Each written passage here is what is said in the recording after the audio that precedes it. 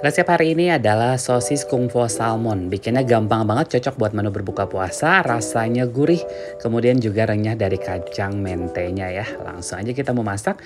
Kita panaskan minyak goreng, lalu di sini kita tumis ada cincangan dari bawang bombay, bawang putih, irisan dari cabai merah kering dan juga jahe. Ini kita tumis dulu hingga wangi.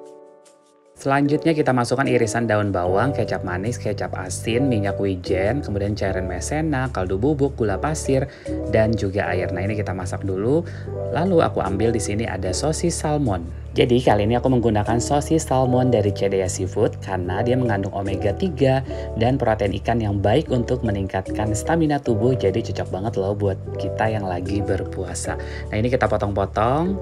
Kemudian kita masukkan dan juga aku tambahkan kacang mentai yang sudah di oven tuh bikinnya gampang banget kan.